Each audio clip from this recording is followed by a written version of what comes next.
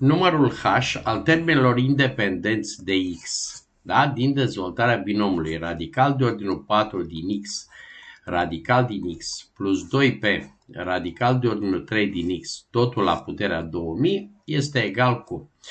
Ce înseamnă? În primul rând să aranjăm binomul, să scriem cu x la o putere pe fiecare, deci binomul nostru este egal cu Ăsta cât face este, este x, uh, cât face x ori x la 1 pe 2 face x la 3 pe 2, radical de ordinul 4 din x la 3 pe 2 face x la 3 pe 8. Da? Că știți că radical de ordinul n din x este x la 1 pe n și să mulți o putere.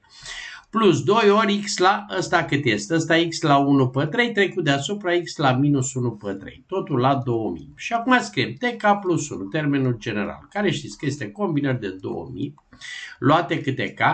Primul x la 3 pe 8 la puterea n minus k, adică la puterea 2000 minus k, ori al doilea 2 ori x la minus 1 pe 3, da?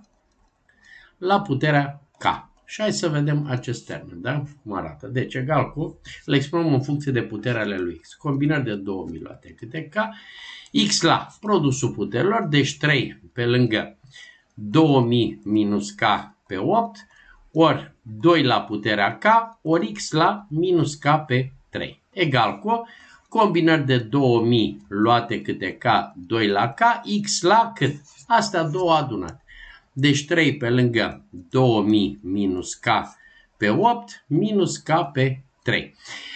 Și acum atenție, unde cau acesta de la combinări, cau trebuia să fie mai mic sau egal cu 2000, că sunt combinări de n luate câte, ca știți, cau este limitat de asta, da? Și mai mare sau egal cu 10. Ce înseamnă termeni independenți de x? Adică puterea lui x, asta de aici, să fie 0, ca să nu aibă, să nu aibă cu x, da? Și atunci egală cu 0 și rezolvăm, scoatem pe K. În principiu, observați, fiind de o ecuație de grad 2, o să am ori 1 ori 0, dacă acest K, atenție, K-ul trebuie să fie și natural, da? Și avem 3 pe lângă, deci ori, ori 1 ori 0, da? Deci clar că 2 și 3 nu, pentru că, repet, e o ecuație de gradul 1, da? Pe 8 minus K pe 3 egal cu 0, da?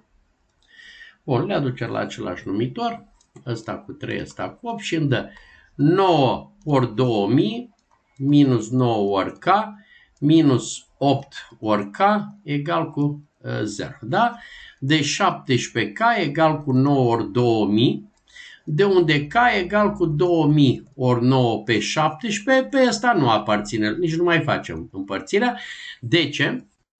Pentru că niciunul nu se divide, 9 este prin cu 17, ăsta e 2 ori uh, Ăsta este 2 ori 2 la câte 1000? 2 ori 5. 2 la 3 ori 5 la 3. Niciunul se divide prin 17, da? Și atunci evident că ăsta nu va fi număr natural. Prin urmare, câți termeni o să avem? Deci ce îmi cere problema?